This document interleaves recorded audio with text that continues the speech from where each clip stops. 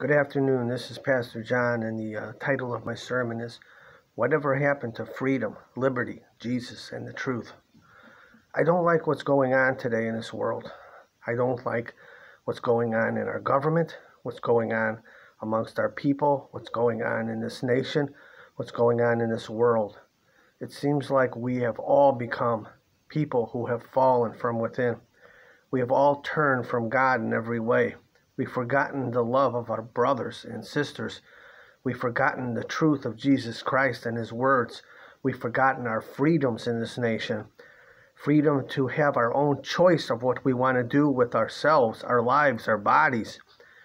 And uh, for far too long, this has been going on. We are a free people. We were freed by Jesus Christ when He died on that cross.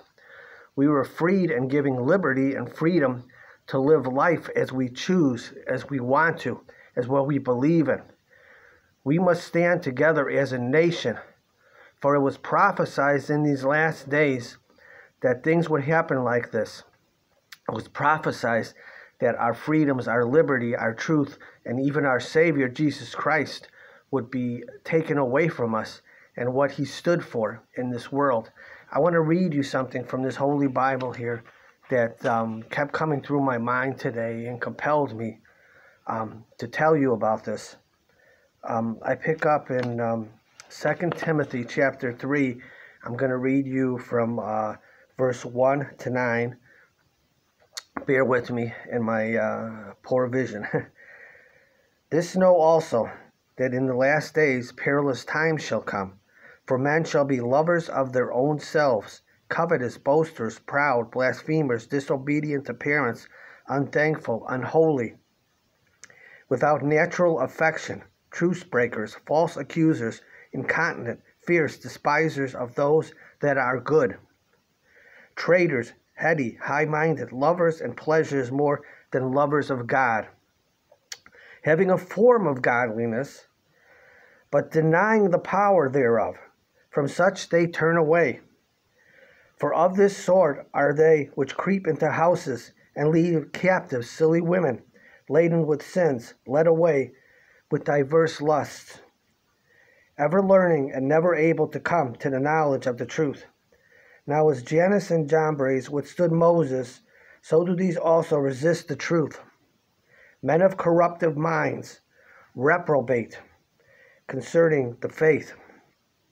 But they shall proceed no further for their folly shall manifest unto all men, as theirs also was.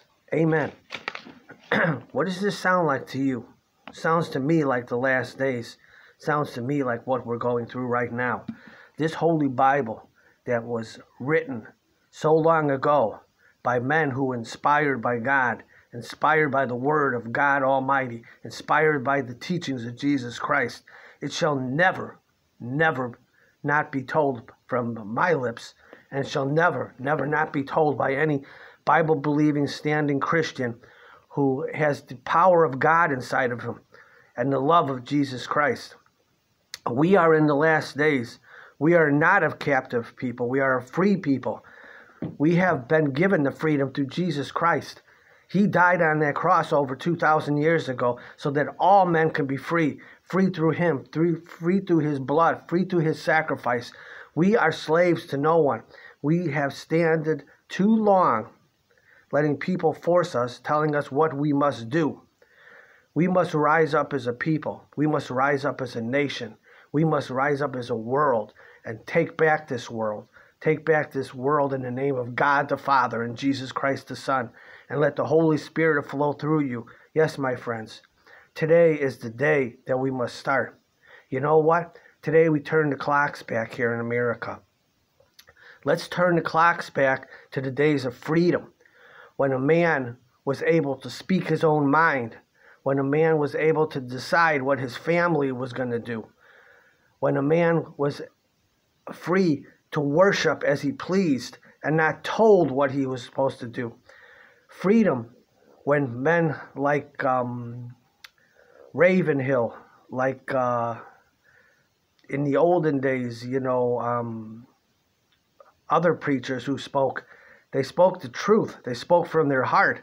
They didn't speak for popularity. They didn't speak um, so that they could be heard and they can gather a, big gathering. No, these men who spoke the word of God spoke to give you Jesus Christ, spoke to give you the light of the world, spoke that you wouldn't go to hell. They didn't uh, tatter around and say, oh, dance around sin and everything. No, they spoke from their heart, they spoke from their minds, the mind that Jesus Christ gave him, the mind that God the Father gave him.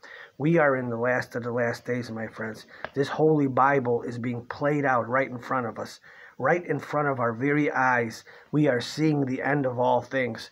We are seeing it come down. I am being drained physically each day, but spiritually, I'm growing stronger and stronger. Uh, so many of my friends are going through so much. I see so much persecution. People come to me every day, and I check in with them, and I could see the hurt. I could see all of the sickness they're going through in this world, all of the forced freedoms being taken away from them. I could see them growing weaker physically, but stronger spiritually. For it says in the end days, the true church will rise up. Our voices will not be silent anymore. We will be heard. We will be heard by the nations. We will stand strong in this Bible. We will stand strong in Jesus Christ and what He's given us. We have the power to change things. And you know how we do it? Through Jesus Christ and through His holy word. Yes, my friends. In these last days, it's going to get worse and expect more um, of these persecutions to come upon you. But stay strong in the Lord and the power of His might. Put on all His armor and fight that good fight. For when we are weak, He is strong. God the Father is strong. He said, I will never leave you, I will never forsake you. And when you pass through those waters of death itself, I will be there with you. Remember that. He's with us from the beginning of life, from life's first breath to life's last breath. And when we close our eyes to this world and we open them up to the next, the first face we will see is Jesus Christ. And he will say, Welcome home, thou good and faithful servant. Enter into your rest. I don't know about you, but that's what I live for, and that's what I preach, and that's what I want to give unto you the love of Jesus Christ. Let it encompass you today. Let it impair you where you can think of nothing else but the gospel of Jesus Christ and all that he stood for. This is Pastor John checking out, just saying, open that Bible and read the truth, for the truth shall set you free. Check you out later, God willing.